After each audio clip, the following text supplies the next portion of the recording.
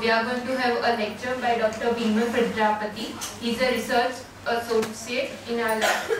And uh, his educational qualification include he has done his BSc in microbiology from SP University. He has done his master's in microbiology from the same university. And he has done his PhD in microbiology from SP University in 2014. He has got several awards like he was awarded as CSIR SRF Fellowship during his PhD. He has uh, GATE qualified and he is member of American Society of Microbiology. He has got uh, more than 10 publications, mostly in reputed journals. So now I invite Dr. Vimal Prajapati to start with his session.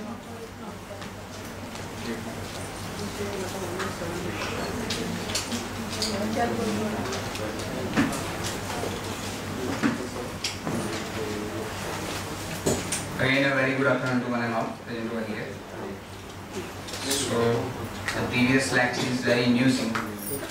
So, I think uh, nobody is asleep now. I'm just trying my best to convey my talk. Uh, basically, uh, my aspects of uh, today's lecture is microbiota, the masters of the host development, immunity and physiology. So basically till date or uh, this seven days lecture you have learned a lot of regarding omics technology and all.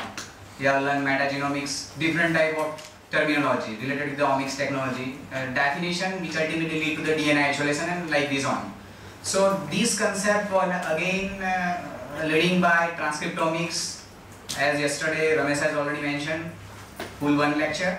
Then again this technology followed by you can see the proteomics, uh, technology related to the protein functioning, protein uh, scaffolding and all those things compiled lead to the metabolomics, the present firing field you can say. But mixture of uh, metabolomics uh, combining with the fluxonomics, this, these two things will lead to the world. This was the recent article in Science that apart from metagenomics you can go for the metabolomics and simultaneously with the fluxonomics this will uh, lead the world. So I am studying, uh, my uh, topic itself indicated the microbiota, masters of the host development, immunity and physiology. So what you can say the host development actually is. So in terms of growth, in terms of cell, organ system development or else. The second terminology is immunity. So immunity is what? Immunity is nothing but an army of cells. You can say your body cells, B cell, T cell, your uh, soluble protein, which ultimately define uh, any pathogenic organisms and like this cascade is go on. And physiology. Physiology is uh, nothing but a scientific study of uh, functions in living organism. This, this will coordinate all those things. You can see organ, organ system leads to the organ, organ having cells, compilation of cells will having some functions. In that cells you have cell organelles, they will be having some internal functions and finally these all things will lead to the DNA. And DNA has a definite control on overall efficiency of the body. So this is basically the introduction of title. Now, uh, Sir has already mentioned that they have uh, screened some organism from the hot spring and like that. But before 10, 12th centuries, I have read in somewhere that uh, microorganisms are ubiquitous in nature till date, what we are mentioning. But initially it was uh, observed that hot spring and very cold spring, they do not possess any organism. But the concept was totally changed now. You can find, you can find Thermus aquaticus, right, uh, from that uh, hot spring even. So initially the nature uh, of microorganism is very ubiquitous, ubiquitous. So despite our general and anthropocentric view of the world, it is the microbial population that dominate the life on the planet in the global diversity as well as in number. So if you talking about a human body, we have a lots of lecture, uh, gut microbiome uh, delivered by Tripathi, Dr. Tripathi, web talk. Uh, yesterday sir has also mentioned regarding gut microbiome. So these are a number of projects right now going on. So the human body itself serves as a scaffold of the multitude of bacteria, archaea, viruses, uh, eukaryotic microbes that inhibit the discrete anatomical niches and outnumber our own somatic and germ cells by an order of a magnitude that we cannot assume. So that is why the concept of superorganism theory is established. So that this slide will come later on. Mm, due to the technological limitations, till now you have learned 454 platform, Ion Torrent, Illumina, uh, PacBio. So you know very well what are the advantages, what are the disadvantages. So I cannot say anything regarding this. So before that, uh, I must mention regarding these two different endeavors. You can see these are the large scale endeavors. Uh, uh, initiative extension program that uh, was basically the human microbiome project that was hosted by the US NIH. Uh, this separate lecture was conducted by Tejas, maybe on Monday.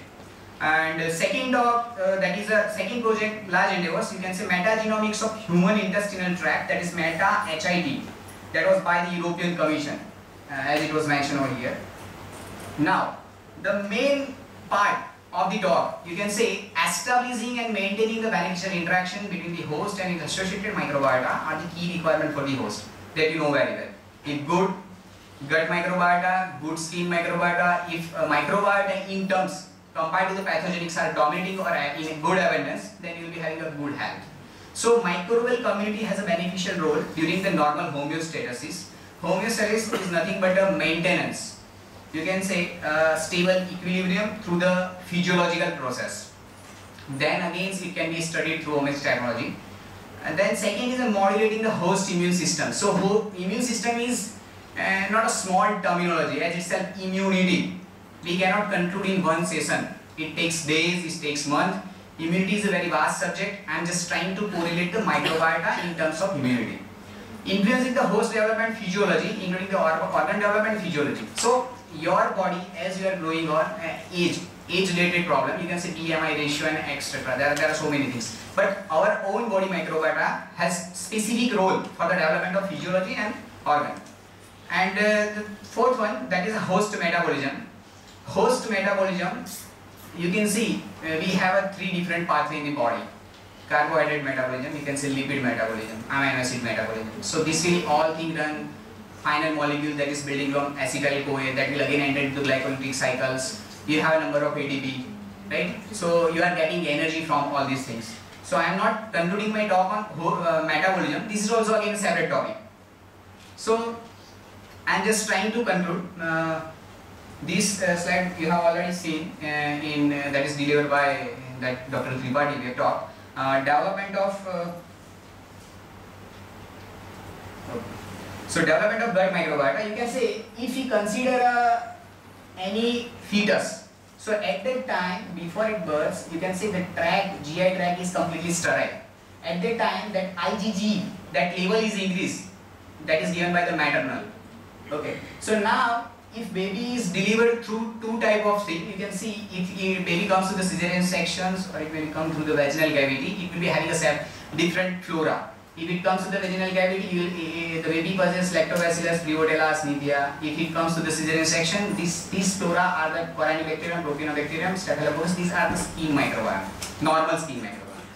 If it comes to the cesarean cavity. But now you can see, if you start from the 0 to 1 month, at that time, toll-like receptor, this level is in decreasing order. So these will be followed by the enterobacter dominating nature. Initially, this tract is uh, having a somewhat oxidative stress. As we are talking about gut having an anaerobic nature, the, those strains which are dominating in gut, they might be anaerobic. But initial stage of tract, GI tract, is oxidative, full of oxidative stress. So at that time, some population will grow over there. It will try to reduce the stress and ultimately invite the another bacteria this is enterobacteria followed by 1 to 6 month period it will be having a bifidobacterium bacteroids. These bacteroids and firmicutes we have learned a lot uh, with these two uh, genus you can say, these two phyla. The healthy state will be judged by these two.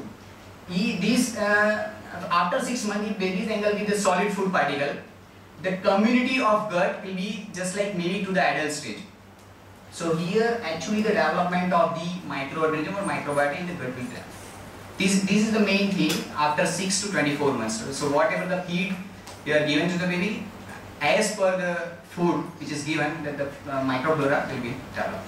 So right now the firing question is a fecal transplantation and like this. So this, this I'll uh, conclude later on even. So these are the different things, allergy, antibiotic, obesity, Crohn's diseases. If you are talking about allergy at the time, proteobacteria and IL-4 level will increases, bacteroidetes, uh, antibiotic resistance. In case of severe antibiotic dose uh, and bacteroid, uh, bacteroids level will decrease.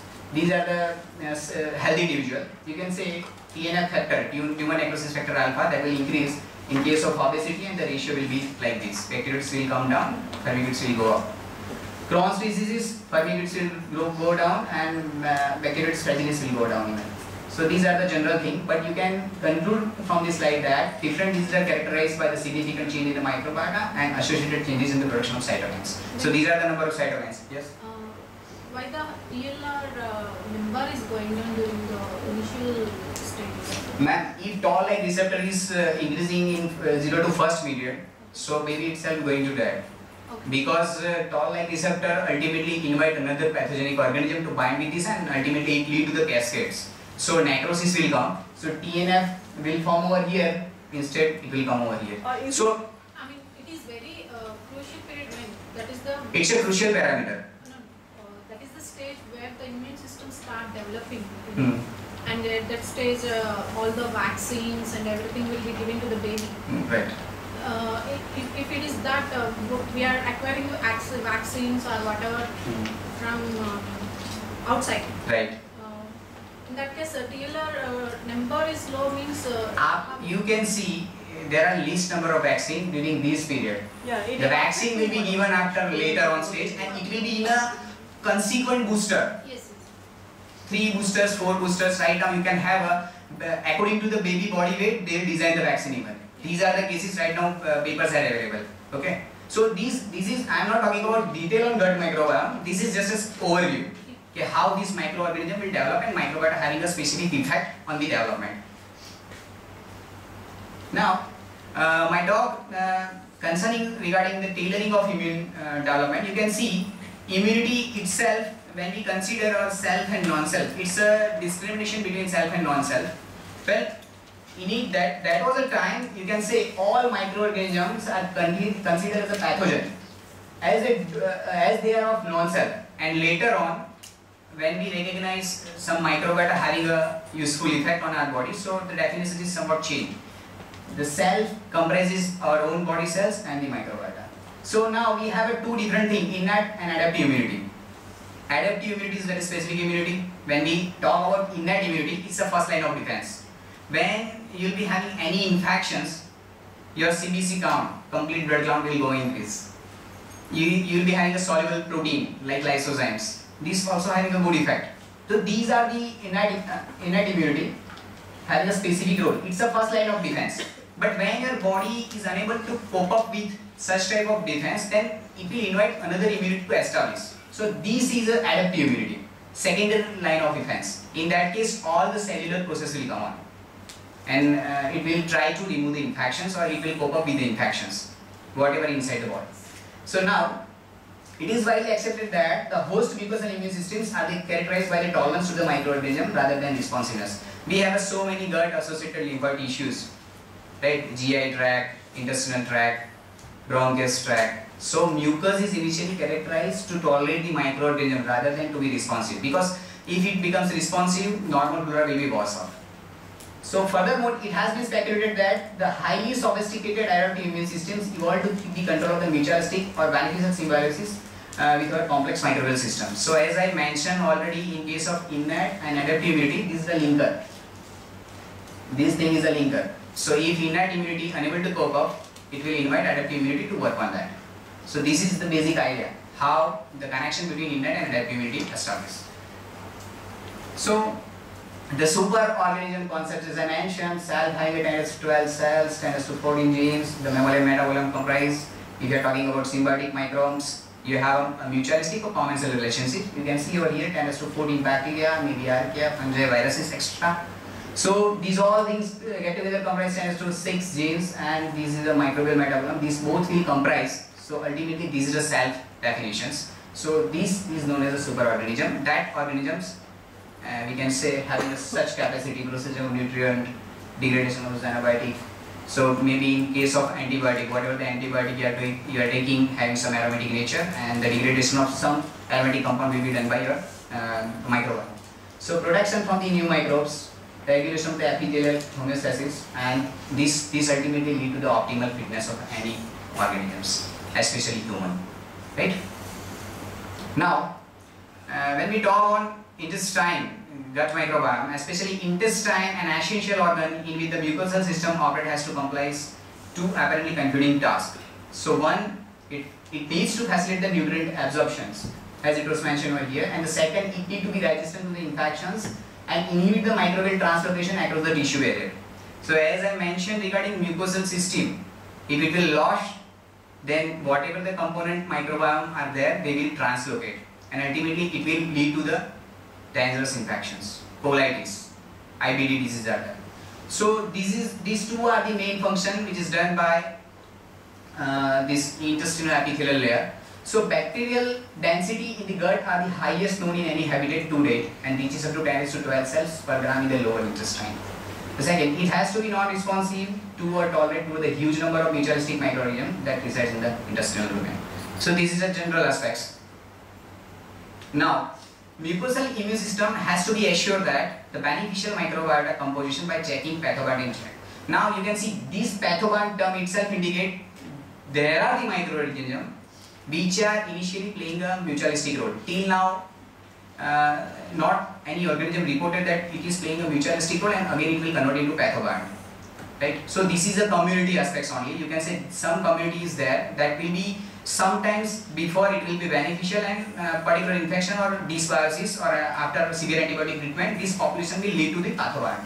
So these are the normal microbiome which become pathogenic after some inductions. So uh, intestine mucosal immune system has to keep the check on the pathobiont restricting microbial overgrowth and reacting to the penetrating microorganism that breach the intestinal chemical and physical barrier, especially immunoglobulin G, antimicrobial peptides, and mucosols. So in intestinal microbiota has a key role in directing the several aspects in the development and regulation of the host immune system, immune tissue.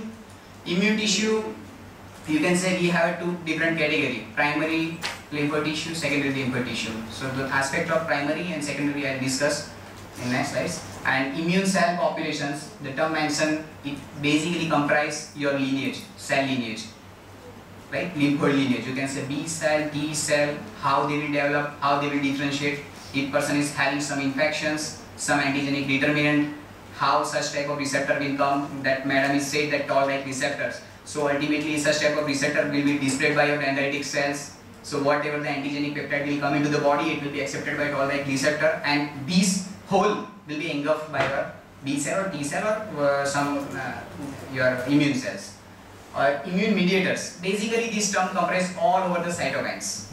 This is you can say this is the first line. If you puncture your skin with some uh, some pinpointed thing, in the thing uh, first term is immune mediator.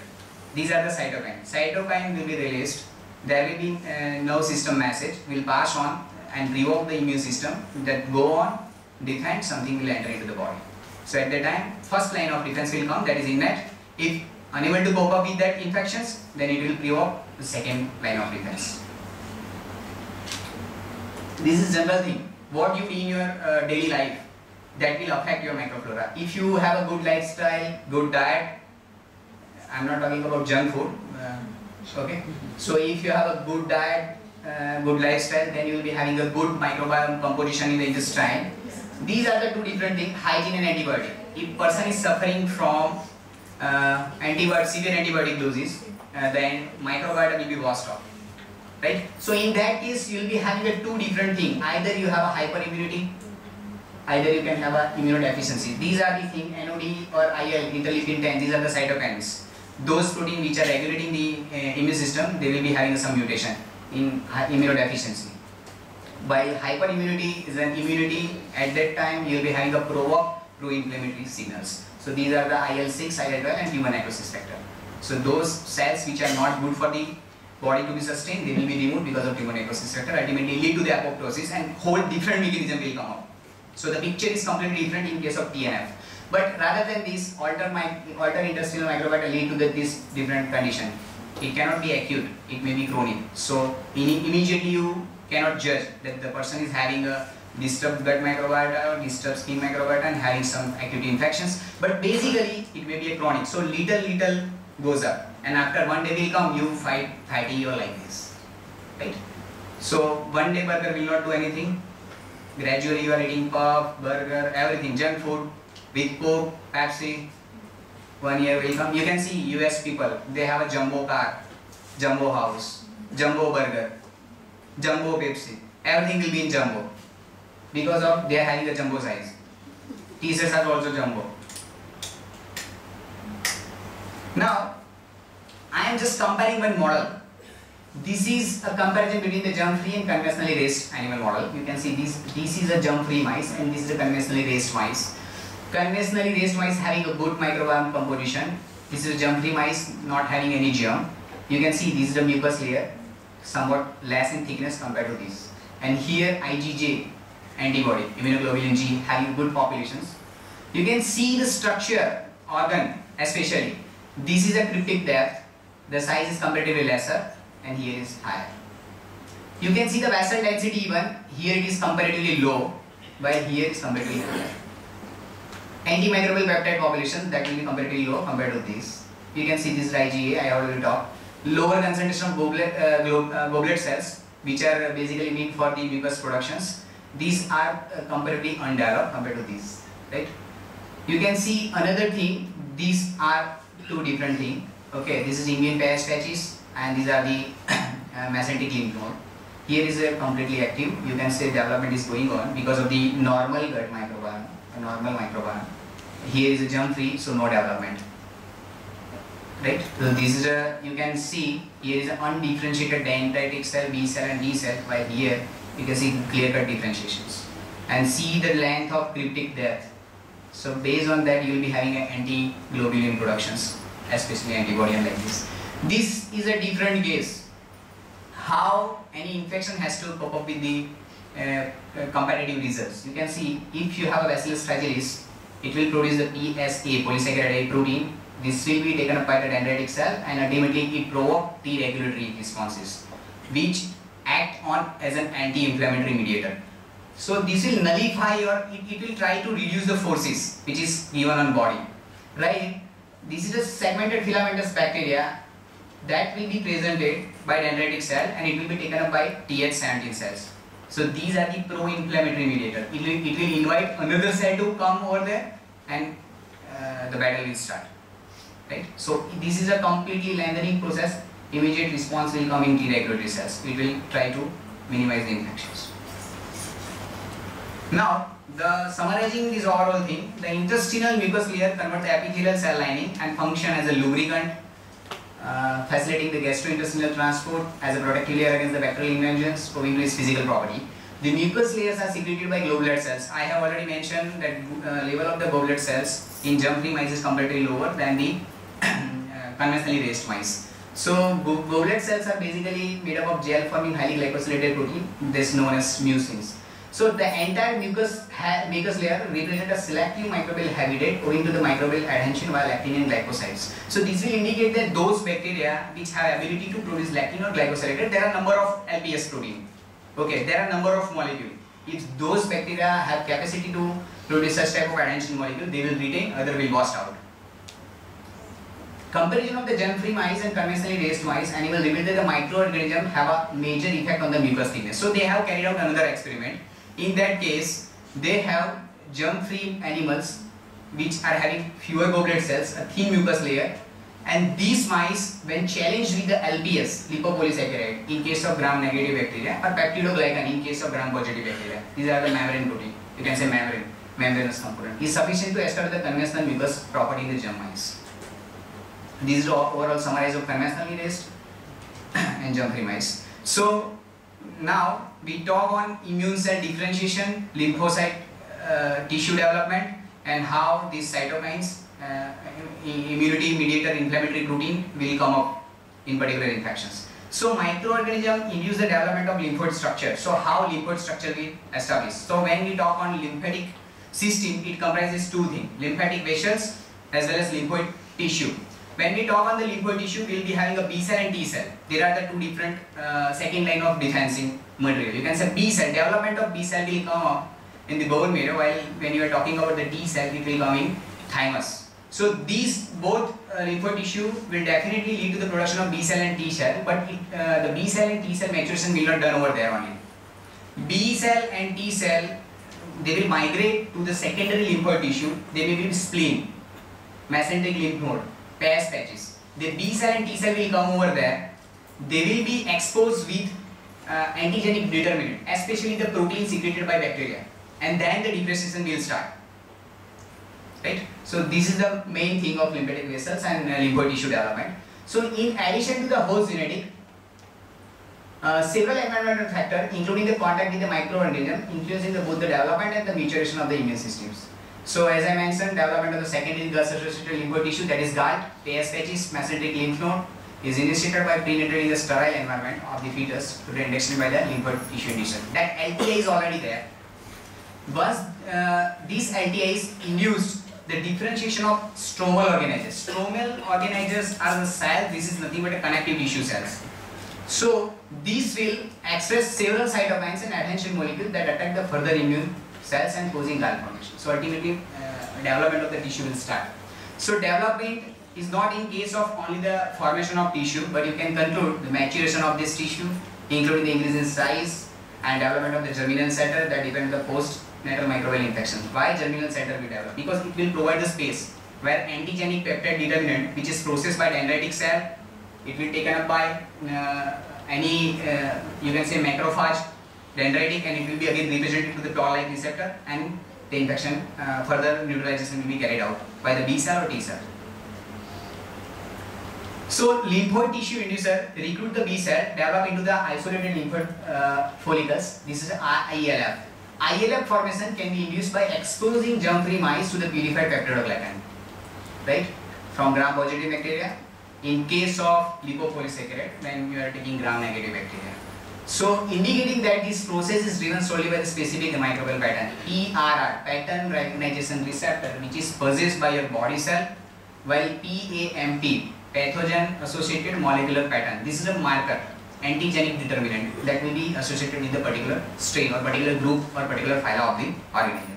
Stromal and epithelial cell recognize the peptidoglycan of the resident microorganism mainly by signaling to the pattern recognition receptor. This is PRR. I have already talked regarding NOD, right?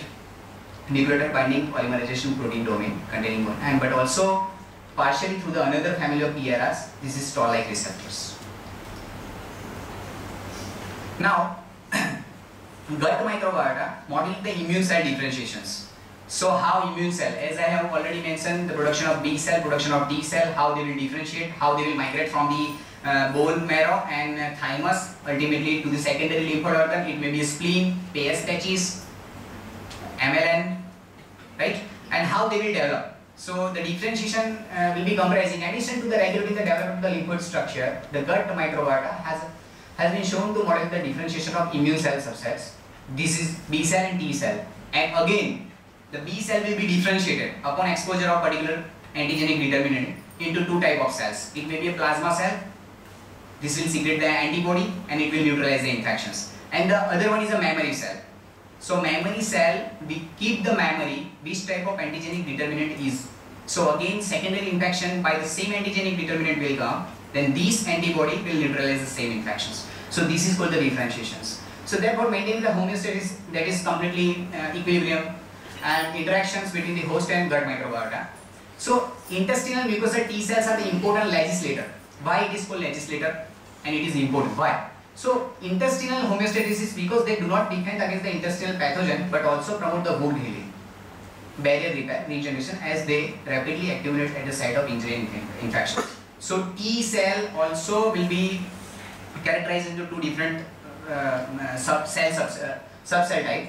It may be a helper T cell which uh, encountered whatever the signal uh, cytotoxin released by uh, your primary defense system and it will recruit cytotoxic T cell over there and ultimately the tumor necrosis factor level will go up and it will clean up the systems. The gram-negative bacterium, uh, Bacteroides fragilis, elicit an anti-inflammatory response by inducing CD4 T cells into the T regulatory cells. So these cells will be upon exposure of these, it will convert into the T regulatory cells, will overall maintain the homeostasis and intestinal lamina propria also in the circulations. Now, bacteria, especially when we talk on the Clostridium, these are the two different classes. Uh, 46 Clostridium species belonging to the cluster 4 and cluster 14 was isolated from the mouse species. And belonging uh, uh, this colonization of germ-free mice with this mixture lead to the expansion of T regulatory cell, ultimately homeostasis. In the mucosal lamina propria, they increase the level of the immunosuppressive cytokines. Again, in contrast to this is a talk on Clostridium, that is a gram-positive bacteria. When we talk on uh, the previous slide was showing gram-negative bacteria. This one is for gram-positive. Uh, in contrast to the bacteria mentioned above, the segmented filamentous bacteria, SFB, elicit a pro-inflammatory immune response by the promoting the differentiation of Th17 cell and to lesser extent Th1. Right? It's a pro-inflammatory mediator. It will invite another cell to come up and clear the infections, while it is an anti-inflammatory mediator. It will stabilize the infections over site itself. This is a general outline as I have already talked regarding uh, pathogen associated molecular pattern which is an antigenic determinant uh, particular marker for particular uh, phyla or uh, particular organism. You can see this is a foreign, protein. It may be lysed cell. You can have a virus having separate antigen determinant, bacteria having separate antigen determinant, parasite, it may be a worm, nematode, maybe anything, fungi. So once these any type of antigen when enter into the body, they will be internalized but it may be represented by uh, dendritic cells to the Th1. These are the two different classes MHC molecule 2 and MHC molecule 1. You can see this, these actually these MHC molecule 1 and 2 these are having a 4 peptide structure but here 3 are linked up with the disulfide bond and here is in 2 2 of group, group of 2 2 you can say and this uh, antigen which is uh, presented by MHC class 2 molecule it, uh, it will be accepted by TH17 cell, TH cell right and these TH cells will again activated and recruit another cytotoxic cell this, this whole community will come over here and otherwise it will provoke the B cell this B cell will again differentiated into the plasma that is antibody secreting cell and whatever the infection these are the cytokines molecule so whatever the infections come ahead, this will be again neutralized over here by the B cell antibody. And this B cell, as I have mentioned, that it will come up into the memory cell, so it will keep memory of those antigenic determinants. So when secondary infection was established, this whole thing will remove that same protein in a quick response. So cytotoxic T cell will uh, always affect the those antigenic determinant which is uh, represented by MHC class 1 molecule and it will neutralize the infections. So now I am just concluding some uh, uh, case study. So intestinal microbiota modulate the anti-cancerous immune effect of the cyclophosphamide. Cyclophosphamide is nothing but an anti-cancerous drug having an alkylating anti-cancerous agent. You can see cyclophosphamide is one of the clinically important cancer drug whose therapeutic effect uh, efficacy is due to the part of their ability to stimulate the anti-tumor immune response. So what actually this anti-tumor immune response is? these will these cyto uh, cyclophosphamide will do something in the uh, microbiome level and this microbiome will represent some another antigenic determinant and produce immune effect so ultimately lead to the reduction of uh, cancerous cells. So cyclophosphamide alter the composition of microbiota in the small intestine and induce the translocation of selected pieces of gram-positive bacteria into the secondary lymphoid organ. The picture is same. The particular infection will exist. Uh, it will call upon the primary line of defense, then it will not cope up with the same defense, then it will invite the secondary immune response, B cell, T cell will be recruited over there, and according to the gram nature of bacteria, it may present the uh, or uh, polysaccharides, right? So the bacteria stimulate the generation of specific subset of pathogenic that is a T helper cell or memory Th1 immune responses. Tumorin bearing mice were germ free and that had been treated with the antibiotic to kill the gram-positive bacteria showed a reduction in P. So we have they, they have compared two different mice. Those mice which are germ-free, they are not having any population of microbiota, and one is a having a good microbiota populations. If both the mice treated with the cyclophosphamide, those mice, those mice which are having a good microbiome composition, they will develop PTH17 immune responses, and those which are not having any microbiota, there won't be any immune responses, right? So because ultimately this antibiotic kill all gram negative, uh, all gram bacteria, all gram positive. If you use uh, uh, any antibiotic which is very specific to the gram positive bacteria, it will uh, reduce or uh, completely wash out all the population of gram positive. So this suggests that the gut microbiota help uh, save the anti-cancerous immune responses. Now some of the results. Now you can see this is the control picture. Cyclophosphamide disturbs the gut mucosal integrity. So this is the control where only NaCl is fed to the animal. CTX, it stands for the cyclophosphamide. anti-cancerous drug and this is doxorubicin. It, it is also known as uh, well-known anti-cancerous drug. You can see that uh, compare the length of villi. Here the shortening is observed. Uh, you can see uh, the inflammatory foci that will be increasing CTX or doxorubicin case while compared to control. Here is also in thickness of the lamina propria. Edema will observe over here compared to this. Right? This is uh, accumulation of water. This is edema. You can see over here in that case uh, shorten the villi length. CTX having a uh, number of percent number of shorter villi compared to doxo and compared to the control even. This is the case of the goblet cells. You can see the number of goblet cells will increase in case of doxorubicin and CTX compared to the control. But uh, significant difference was not observed between the control and CTX. This is just a case study. Cyclophosphamide induces the mucus-associated uh, microwave dysbiosis, bacterial translocation into the secondary lymphoid organ. You can see over here, when this cyclophosphamide given uh, to any germ-free mice or uh, you can see those uh, conventionally raised mice, uh, we know that the population may be aerobic or anaerobic in nature. As we have already mentioned that all over the reaction will be carried on to the secondary lymphoid organ. Uh, they have taken MLN and spleen. These both are a tissue. They don't know whether it may be anaerobic population or aerobic population. So they uh, took two different media and uh, they will carry out the separate experiment with uh, taking aerobic condition uh, and uh, applying anaerobic condition. You can see there is a difference. No control group having a CFU per ml, so no translocation will be observed in that case. But in case of uh, cyclophosphamide, uh, there are a number of CFU per organ, so translocation will exist in case of anti-cancerous drug and also in case of uh, you can see doxorubicin, right? Translocation is observed.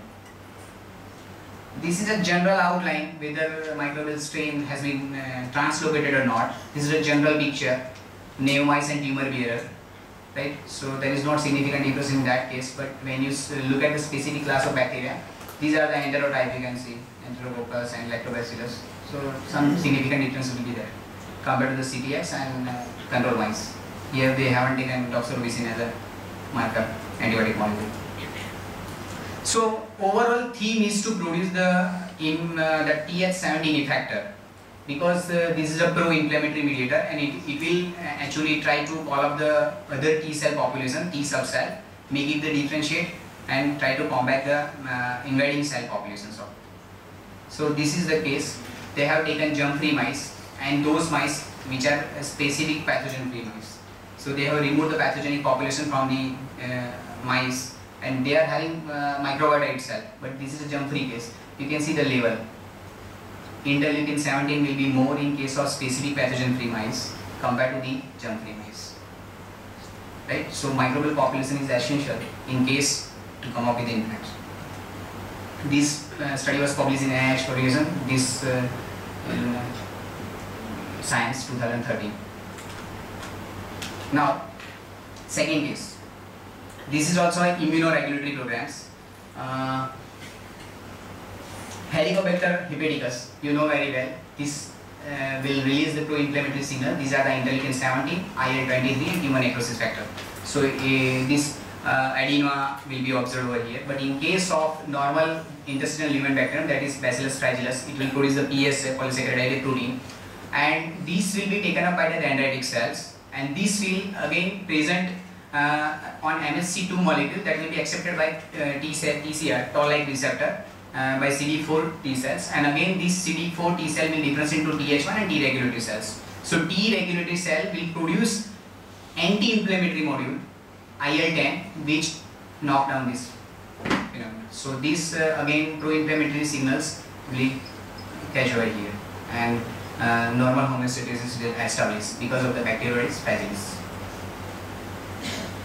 So concluding this result, the first demonstration that a single molecule made by a common cell microorganism could promote the beneficial immune responses and was provided by the identification of polysaccharide which is produced by the human symbiote, that is B. fragilis. Colonization of germ-free mice with the Bacillus fragilis or treatment with the PSA directly development of the immune system. So if you knock out the Bacillus fragilis strain, uh, in particular this PSA production, there won't be any pro-inflammatory mediator. So you can see the infection will be carry on. So they conclude that PSA is essential.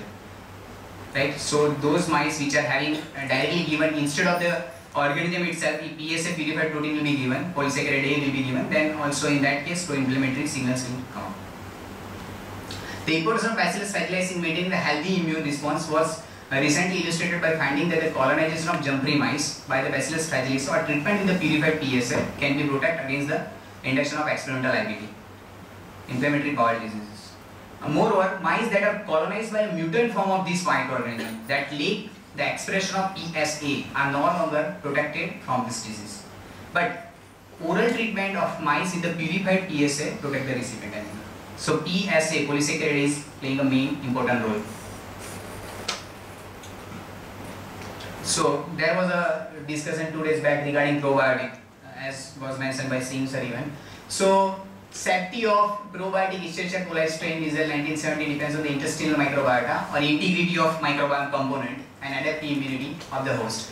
In this paper, they have uh, done uh, two knockout study. They have knocked out the adaptive, uh, adaptive immunity and they use the germ-free mice even.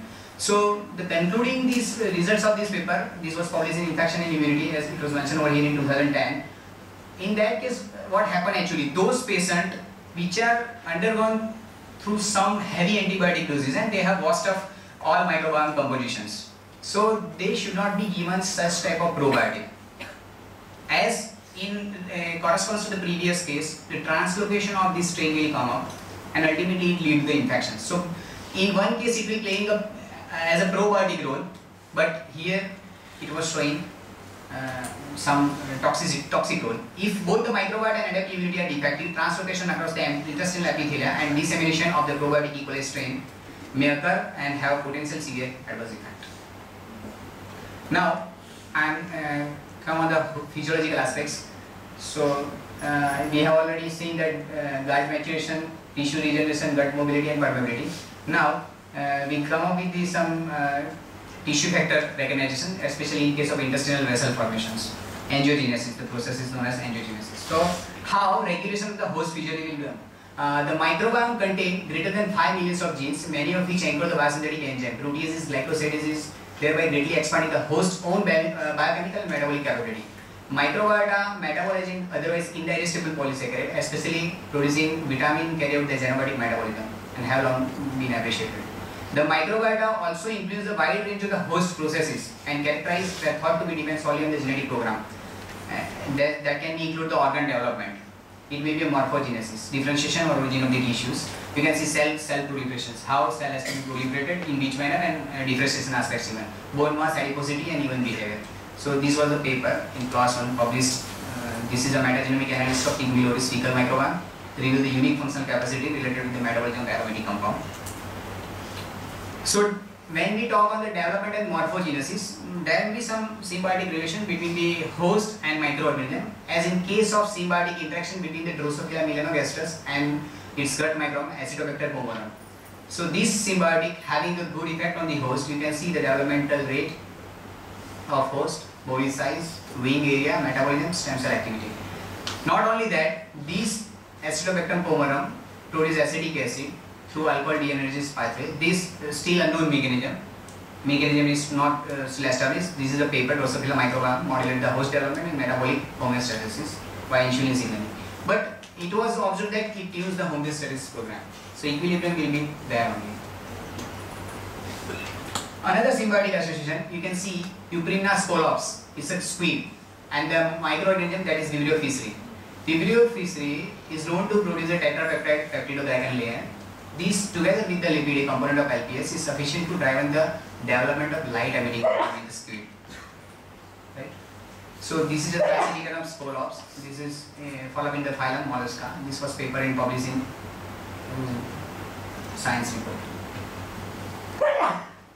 So overall comprising, uh, this uh, first slide uh, is what mentioned regarding the uh, sterile GI tract. In newborn, GI tract is structurally and functionally immature and maturation is induced by many factors, one of them being the gut microbiota. The most prominent feature of the germ-free mice is greatly enlarged cecum, reduced overall intestinal surface area and have a reduced villus thickness owing to the reduced cell regeneration and longer cell life. This is microorganism monitor the epithelial permeability in the gastrointestinal tract. For example, gram-negative bacteria, Bacteroides micron, increase the resistance to the gut microbiota by increasing the expression of SPRR2A protein, which is involved in the maintenance of desmosome. Desmosome is a structure which helps the cells to, uh, to stand the shearing force. This is called desmosome. Again, this lactobacillus strain rigidify the tight junctions. This basically impart the impermeability functions. Specific permeability uh, will be allowed in that case. Now we come to the angiogenesis process, basically known as vascularization, development of the blood vessels. So colonization of gut in the germ-free mice causes the reconstruction, uh, restructuring of the intestinal villi, which shorten and widen to prevent the microbial infiltrations. These uh, restricting the increase in the demand for the oxygen in the gut epithelium and lead to the increase among the sporulating epithelial cells and consequently angiogenesis. The overall process is like this.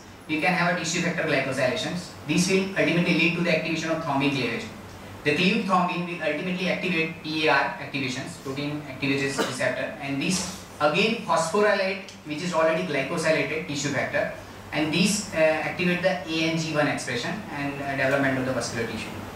Right? The whole paper is there. I am not mentioning much detail. And these are the number of uh, diseases which has already been discussed in the web talk.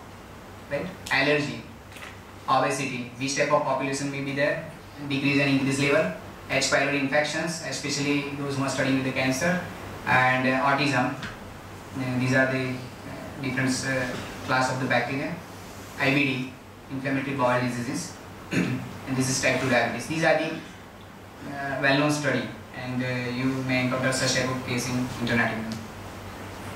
So the another case study that is related to the Fusobacterium nucleatum from the CRC cancer, colorectal uh, cancer. So basically what happened, actually this strain was uh, dominating in the mouth flora. It was observed that your mouth flora possesses Fusobacterium. How it will transfer to the gut, uh, still unknown. But these Fusobacterium having a FAD as a virulence factor. Uh, it have two different factor. This is a premature and mature. The combination of both these will form FADAC. This is the active factor right, which ultimately uh, act as a virulence mediator. It will bind to the E cadherin and this will activate the beta signaling and leads to the unphosphorylation of beta catenin. So this beta catenin will transfer to the nucleus and it will uh, provoke the oncogenes. Right? Um, this article was published in Cell.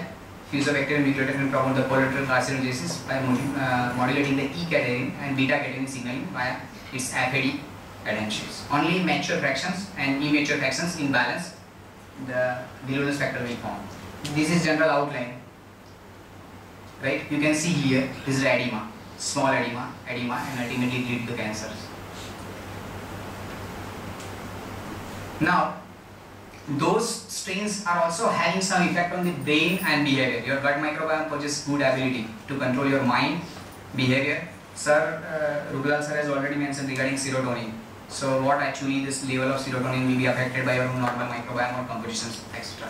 So you can see gut microbiome, Lactobacillus plantarum, modulate the MAT choice in D. melanogastrus. This is one example. Second is larval settlement of the murine tube worm, Hydroids elegans and Pseudoalteromonas. These organism will produce, you can see the biofilm. Once biofilm is produced, then only this tube worm will settle larva. The composition of human skin microbiota influence the attractions for the mosquito with the potential consequence of disease spread. Right? Those uh, persons having a good skin microbiome composition, especially Staphylococcus, are uh, in abundance, and the mosquito will be attracted over there. So these are the paper commensal bacteria play a role in mating preference in Drosophila melanogaster host. Second, this is bacterial genes uh, required for the inducing larval settlement in the worm. This is king microbiota affect the attractiveness of malarial mosquito. Now, today, the base study microbial effect are the effects on the anxiety-like behavior. These was the result of either pathogenic infections or antibiotic treatment increases the anxiety-like behavior in the conventional response. I am just showing one video.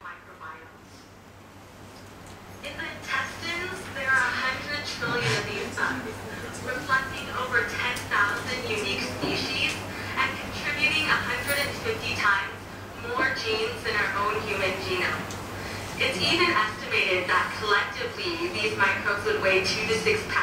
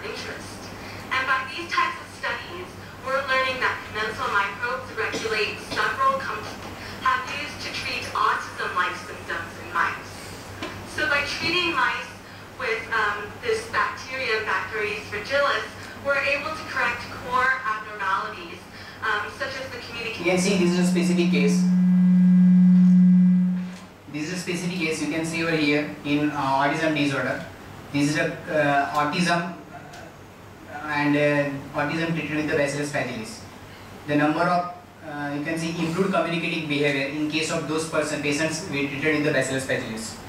Okay.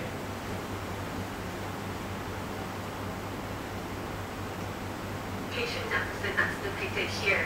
That's a hallmark symptom or diagnostic uh, symptom of autism. So here, mice that are autistic-like display less communication, as depicted by the blue bar, and treating them with the bug uh, corrects this effect, as shown by the red bar. So I think that the implications of these discoveries is huge because what if we could, without a single invasive procedure, treat disorders like autism, depression, and multiple sclerosis? Micro-based therapeutics might offer a way to build a stable community structure that can impart long-lasting effects without the need for continuous treatment. Also, since microbes are relatively easy to manipulate and even eliminate, they can be readily modified for better functioning, regulatory control, targeting, and even delivery.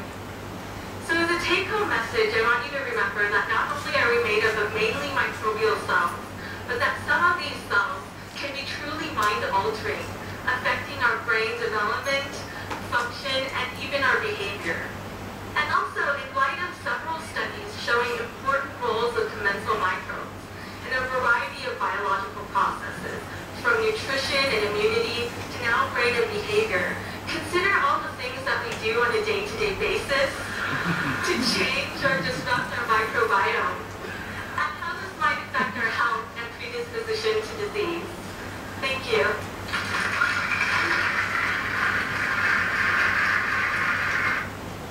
So these are the things when person is having a severe antibiotic dose and it lead to the wash of abnormal microbiota, then they may be having some undeveloped functions. You can see those patients will lead to the dysbiosis and if they have been treated with something that as, as it, it was mentioned in Bacillus fragilis case may be treated.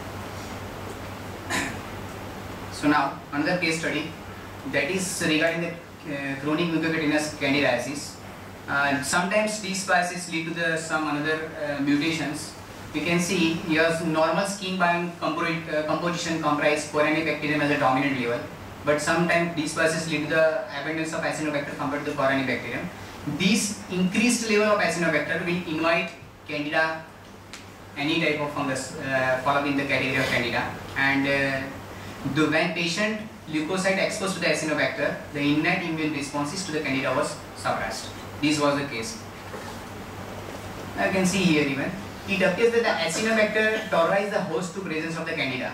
So one interpretation of this result is that the alteration in the bacterial community as a result of the stat 1 to stat 3 lead to the more Acinetobacter with the uh, dermal microbiome and thereby increases the risk of Candida infections. So the link may shed light on the association between the fungal infections and the prior use of antibiotic, an event well known to the alter the microbial community. This was published in Journal of Innate Immunity, titled Metagenomics and Immunity, a unique partnership now, how this is relevant, uh, still go, uh, going on research like you can see microbiome therapy, bacteriotherapy. This was a report, you can say changes in the composition of human fecal microbiome after the bacteriotherapy for the recurrent Clostridium difficile. This is a well-known infection, you can see person is having again dysbiosis. This uh, C. difficile uh, abundance will increases, it lead to the colitis or severe diarrhea. Sometimes person will die even because of uh, dominating nature of C. difficile. Mm, I am just showing one insight. Fecal microbiota transplant, feasible approach or not? Still it is a question mark. But one case study, you can see little known fecal transplants cure the woman bacterial infections. This is a lady name is Kathleen Hunter.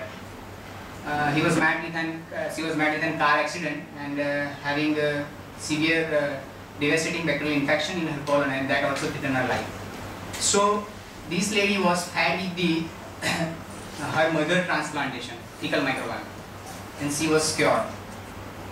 So why did this work? What happened in Katie's colon? Still unknown. but maybe that difficile population which was uh, abandoned after uh, when she was uh, met with an accident, then the fecal transplantation therapy will work and establish the good gut microbiome component. So this is the live case. So I'm just uh, concluding remark uh, over here that uh, Francis Colley, the director of the Human Genome Project, after cracking the human genome sequence, he found that he, he said that I have found the God because after then there are number of sequences will be annotated and all things have been come up. So another this I have already mentioned regarding autism related disorder. So these are the enterobacterial metabolite, propionic acid especially this propionic acid which alter brain and plasma phospholipid molecule species and which help in the uh, which actually lead to the autism related disorder. You can see the, these are the some insights. ASR1 protein suicidal is a genetic or it may be biochemical, uh, still unknown. But you can see these are this was published in Science 14 November 2011. RGS2 variant appeared that more often in those who try to kill themselves. Right? So 43% of depressed patients who had attempted suicide had two copy of such type of variant. And uh, Dr. John Mann, New York State Psychiatrist Institute, said that it will be the panel of genes that will contribute to this. And if we can identify those genes, the panel could be used for screening tool and predict the risk of suicidal behavior. Right? So these type of variant will observe in the patient uh, who are very depressed, RGS2 especially.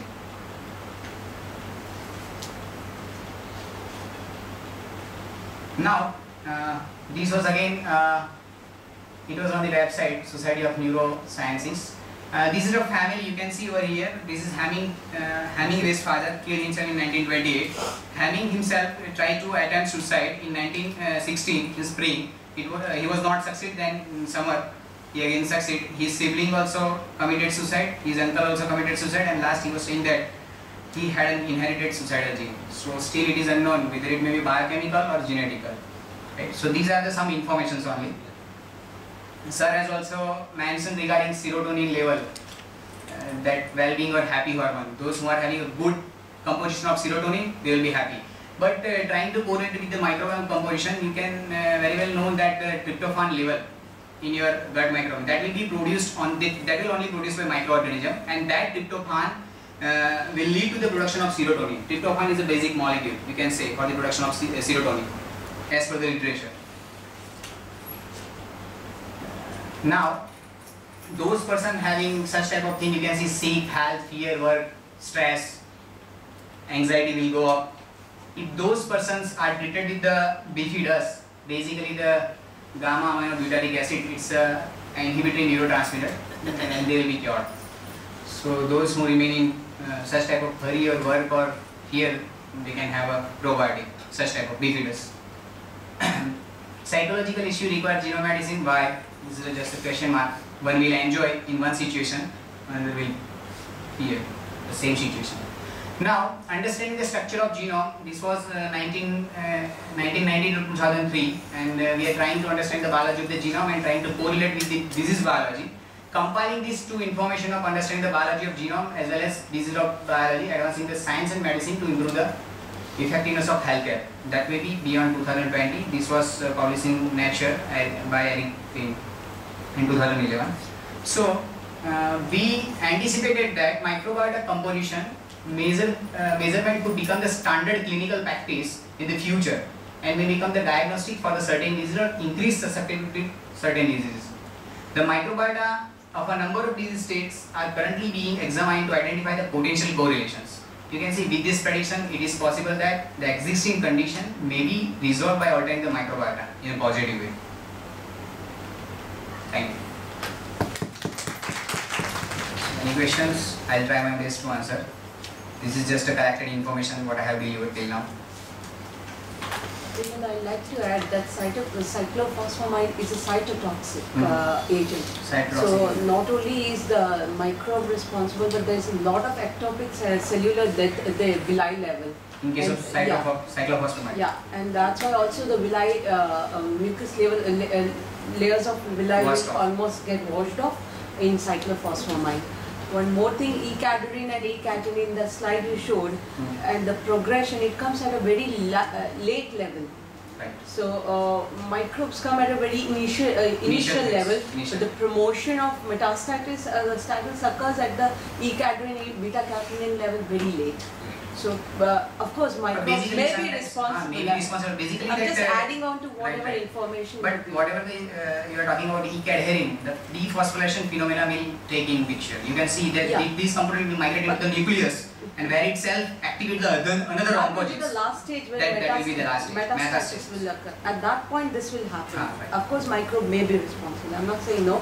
And the third is uh, about uh, one more uh, addition to whatever you have said. The microbes are now being used as co-evolving uh, uh, therapy. Therapy.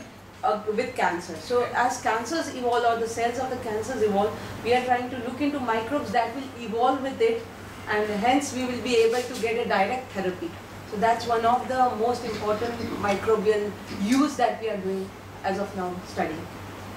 These are the three points that I needed to just highlight. Yes, sir. Uh, do you see roles for gut microbiota beyond gut?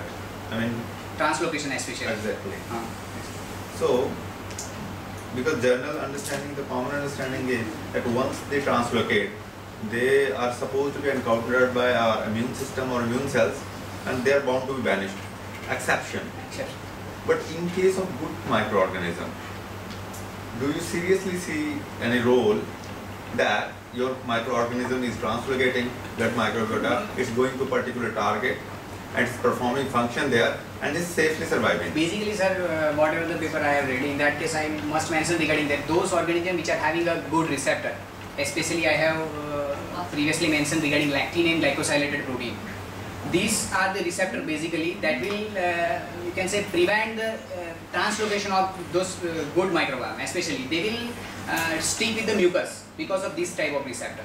But if a person is having a disturb or lead to the dysbiosis after some heavy antibiotic doses, then this mucus layer will burst off. In that case only, this microorganism can penetrate because uh, whatever the role to stay uh, that microorganism over there in mucus layer is basically that mucus. Mu- Mucus is playing a main role with the hash glycoside or uh, that lectin molecules. Okay, but see the uh, the major contradiction to this conventional understanding is, you know, bifidobacterium, bifidum, Ah, it- the most common source for this is breast milk. Rest. And in infant, the gut microbiome is established by breast milk. Rest. So this is the biggest question that how bifidobacterium reaches there. Because there has been a number of studies, they could not relocate the root because obviously it is coming from gut. There has been sampling of the uh, uh, nipples and all those area, but uh, my- uh, bifido because it is strict anaerobe, Anaerobe. it has not been found anywhere there. But if you take breast milk samples, it is bound to be there. So, along with lactobacillus, some lactobacillus acidophilus and some enterococcus are, are also reported there. from the breast milk. So that's why I'm trying to understand. Maybe this, this understanding is very limited. That okay, the gut microbiota will stay uh, across the barrier, it won't go there. Because in milk, it's obviously going there and you are fetching it there. How they will come still is a question mark. Yeah, that's why, that's why. It was not a direct question, Because, but I uh, was trying to understand that is it possible in some way? No sir, uh, till whatever I have collected, uh, I haven't come across such type of uh, formulation. You can see that the microbiome, how it will transfer to the uh, breast milk. And strangely, it's it a is not question mark. encountered by any of the immune cells. There are reports, uh, why Srija you are not sup- sup- uh, supplementing. Sujat submitted one hypothesis and one research proposal on that. And one paper is there already that the gut microbes are traveling through the system and reaches to the uh, mammary gland. Exactly, that's, that's what I'm trying to understand. Sujat proposed a project in, uh, I think, uh, call uh, proposal from ICMR. You know, No, sir. So I guess, I guess beyond gut there is definitely a role. That's how they're acting on memory on memory, brain axis. And there must be role of hormones, all of them are inter, into the interplay. Basically, dysbiosis is playing a main role. If a person is having some dysbiosis, then uh, all level will be disturbed. Uh, do you think there will be any bacteria which will be helping in the synthesis of mucin along with the globulate, uh, which will be stimulating Basically, uh, ma'am, whatever the class comprising gram-positive, gram-negative bacteria, their cell wall itself playing a major role. Uh, the component possessed by gram-negative bacteria, that is LPS, and mm. peptidoglycan, that is possessed by the gram-positive bacteria, they are the basically playing an important role for the development of mucus and all that.